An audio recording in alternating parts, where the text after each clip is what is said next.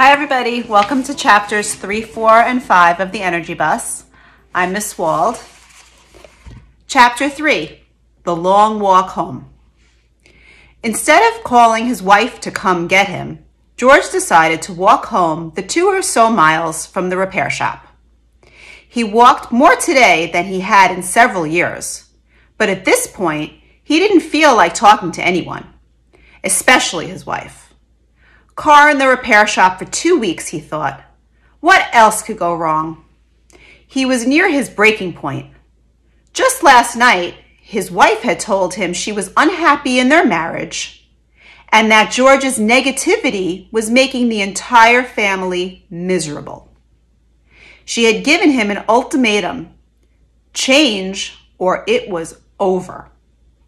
It wasn't the first of their marital problems, and certainly it wasn't the first time she had told George he was negative, but now it was real.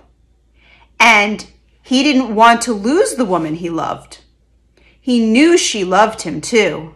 But as she had said, no matter how much she loved him, she wouldn't live with someone who made her life so miserable.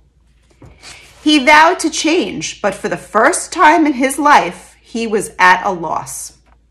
He felt like his life was spinning out of control and he couldn't do anything to stop it. He had always been able to fix every problem and rise to every occasion to meet any challenge, especially in his marriage. Yet now he felt truly powerless, as if his life was being lived by someone else while he was watching it unravel. That night, he had yelled to the heavens, asking for help, and had woken up with a flat tire. Some help, he thought. Just one more problem I don't need right now. George walked briskly, hoping to get home in time to read the kids a book. It was one of the few things he enjoyed doing, and it was something they loved as well. Whenever he was working in his home office, they would always come in and say it was time for him to read a book, which he always did. His two kids were his driving force. He loved his family and he wanted to be able to provide for them and give them everything he had never had. They had a beautiful home. The school district was one of the best in the state and the children thrived. He and his wife drove new cars and did their best to keep up with the Joneses, the Smiths, and whoever else they were supposed to keep up with.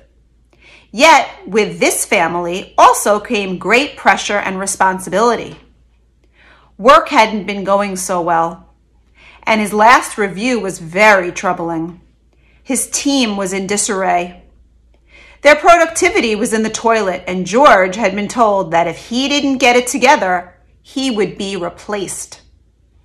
For the first time in his life, his job was in serious jeopardy. So as George walked, he thought of his family, his wife's ultimatum, and his job.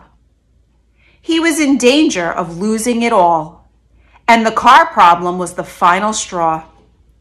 Something good has to be coming my way, he thought.